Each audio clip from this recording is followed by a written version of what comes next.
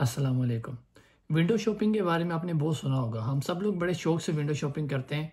कोई एक छोटी सी चीज़ भी लेनी हो तो हम बाज़ार में चले जाते हैं। ज़्यादा से ज़्यादा फैमिली मेंबर चले जाते हैं और जाके हर दुकान पे डिफरेंट डिज़ाइन देखते हैं नए नए फ़ैशन देखते हैं विंडो शॉपिंग करते हैं। बस ऐसे ही सैर करते हैं इंजॉय करते हैं टाइम पास करते हैं, रौनक देखते हैं।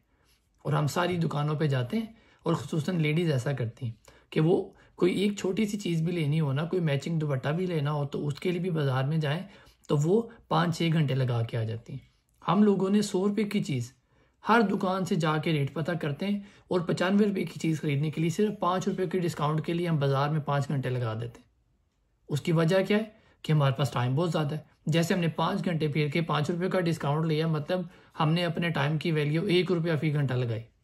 यानी हम लोग टाइम की कदर ही नहीं करते। आउटिंग करते करते इंजॉय करते करते टाइम पास करते करते हम लोग सारे का सारा वक्त ऐसे ही गुजार देते रसूल पाक सल्लल्लाहु अलैहि वसल्लम का बड़ा ज़बरदस्त फरमाने वाली शान है, मैं आपको सुना देता हूँ। मेरे पास अमानत के तौर पे पहुँचा, मैं आपको भी सुना देता हूँ, फिर हम दोनों मिलकर इंशाल्लाह उस पर अमल भी करेंगे।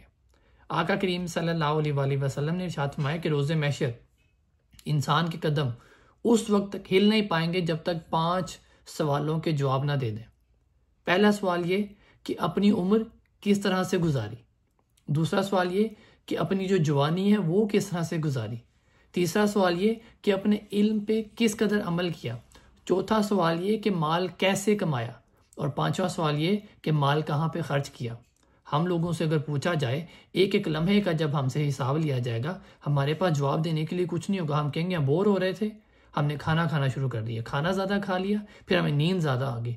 फिर हम उठे तो मेहमान आ गए। मेहमान गए तो हमें कोई और काम याद आ गया, हमें फिर नींद आ गई, हमें फिर भूख लग गई हमने फिर मूवी देखनी शुरू कर दी, फिर हमने मोबाइल फ़ोन इस्तेमाल करना शुरू कर दिया, हम फिर सो गए, हमने फिर खाना खाना शुरू कर दिया। हम लोगों का यही काम है, वक्त ज़ाया करना। हम कहते हैं कि जी हम वक्त को किल कर रहे हैं, नहीं, वक्त हमें ज़ाया कर रहा है। तो रसूल पाक सल्लल्लाहु अलैहि वसल्लम ने हमें बता दिया कि हमसे हमारी ज़िंदगी के बारे में, हमारी जवानी के बारे में, हमारे अमाल के बारे में और हमारे रिज़ हलाल के बारे में पूछा जाना है। उसके लिए तैयारी करनी है। ये नहीं कि न्यू ईयर की पार्टी है तो पार्टी में पाँच छः घंटे लगा दिए, सिर्फ़ क्या फायर वर्कस देखना है, फुलझड़ियाँ देखनी है। नहीं, हमारे पास वक्त अल्लाह पाक की इमानत है। एक एक सांस हमें गिन गिन के दिया गया है। जितने साँसें मेरे नसीब में लिखी गई हैं, उससे एक सांस भी मैं ज़्यादा नहीं ले सकता और एक सांस भी मैं कम नहीं कर सकता। तो हर लम्हे का हिसाब होना है। तो बजाय इसके कि हम लोग गफलत में एक एक सांस गुजारें एक एक सांस में हम बहुत ज़्यादा इबादत कर सकते हैं। वक्त सबके पास एक जैसा है। वक्त को अच्छा इस्तेमाल कर लेंगे तो दुनिया में भी और आखिरत में भी कामयाबी मिल जाएगी। वक्त को ज़ाया किया, बर्बाद किया तो दुनिया में भी गुर्बत और अफलास और आखिरत में भी अजाब ही अजाब।